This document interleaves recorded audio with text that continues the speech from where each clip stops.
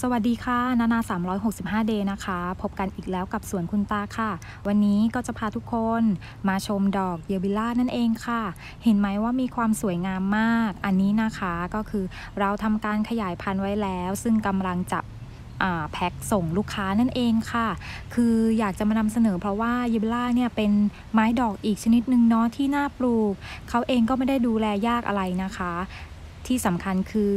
เขาออกดอกตลอดทั้งปี แล้วก็มีดอกให้เราชมเนี่ยตลอดด้วยเนาะซึ่งก็เป็นอีกอพันไม้หนึ่งที่น่าสนใจค่ะ อันนี้นะคะก็จะเป็นสีผสมปกติถ้าเป็นพัน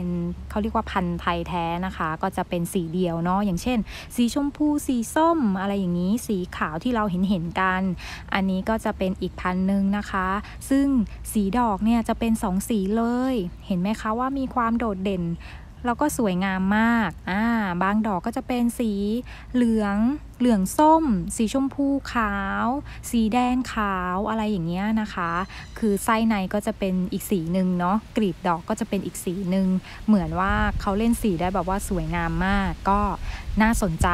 อีกชนิดหนึ่งนะคะที่ถ้าเพื่อนๆเนี่ยอยากจะมองหาดอกไม้ที่จะเอามาปลูกแล้วให้ดอกตลอด นั่นก็คือเยอบีร่านั่นเองค่ะ ก็เป็นที่นิยมอยู่นะคะ เพราะว่าเราจะเห็นได้ว่าจะมีกลุ่มคนรักเยอบีร่าอะไรอย่างเงี้ยค่ะ ก็น่าปลูกเนาะ อันนี้เราก็ทำการขยายพันธุ์ไว้พอสมควรกำลังจะแพ็คให้กับลูกค้าเลย ถ้าหากท่านใดสนใจนะคะ เป็นช่วงที่มีพันธุ์พอก็สามารถติดต่อมาสอบถามได้นะคะ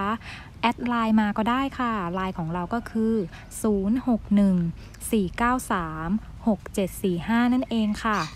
เดี๋ยวไว้เราจะมานำเสนอวิธีการปลูกเยบิล่าให้งาม ดอกดก สีสวยให้ได้ชมกันนะคะ ยังไงก็ฝากเพื่อนๆติดตามคลิปของเราด้วยเนาะเพื่อเป็นกำลังใจแล้วก็เอาไว้ชื่นชมดอกไม้กัน